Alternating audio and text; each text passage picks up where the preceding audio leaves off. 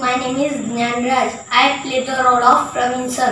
Praveen sir teaches English subject. Hello kids. Today we have to learn a new block. That block is block 8.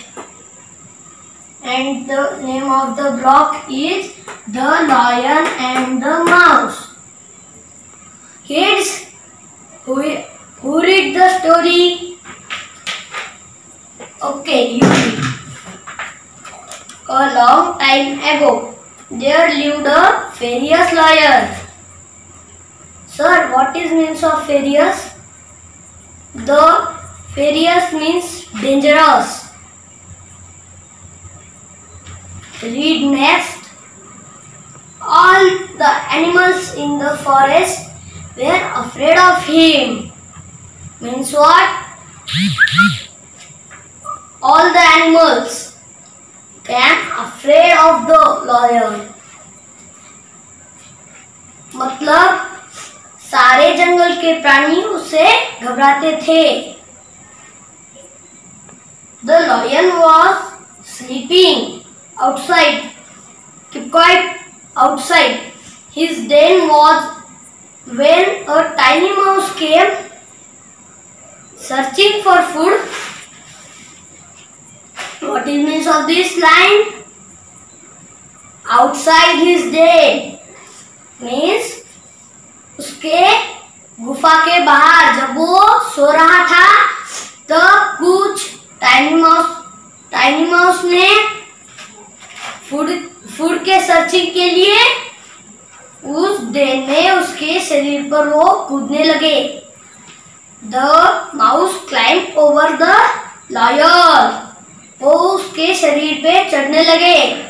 Glowed the lion, as he woke वो जाग गया। The mouse was scared. चूहे घबराने लगे। The mouse quickly jump off the lion. You read what is means of this the lion quickly jump off the lion. The mouse quickly jump off the lion. वो lion से कूदने वाला था।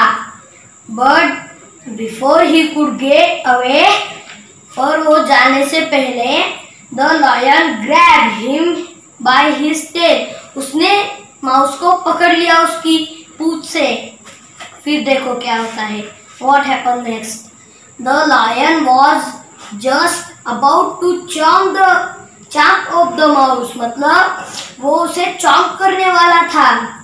But the tiny mouse से मत, मतलब वो छो, उस छोटे माउस ने कहा कि you should let me go तुम्हें मुझे जाने देना चाहिए। हु नोज़ किसे पता? कल मैं तुम्हारी मदद कर सकता किसी मतलब किसी वे से तो फिर देखो। ये देखो। अभी ये क्या बोल रहा था माउस? तुम्हारो आई में help you in some way मतलब मैं तुम्हें मदद कर सकता हूँ कोई मतलब किसी अगर तुम कहाँ पे फंस गए तो मैं तुम्हारी मदद कर सकता हूँ। द लॉयन लाफ हेटली मतलब लॉयन हंसने लगा जोरों जोरों से। He ridiculed the mouse by saying उसने माउस को बताया हाँ वॉट अ जोक तुमने कितना जोक मारा है। How could such a tiny mouse ever help me एक छोटा माउस मेरी हेल्प कैसे कर सकता है? But still the lion let the mouse go और उस लॉयन दयालु था, इसलिए उसने उसे जाने दिया। The mouse thank him and run away mouse ने उसे थैंक बोला और वो भाग गया वहाँ से। दूसरे दिन देखो क्या होता। What happen all the days went by the lion forgot lion forgot all about the mouse मतलब लॉयन भूल गया था माउस के बारे में कि पहले क्या हुआ था माउस से और उससे one day some hunters came to the jungle कुछ हंटर्स जंगल में आए मतलब कुछ शिकारी जंगल में आए and trap the lion in a net और लॉयन को पकड़ लिया एक नेट में।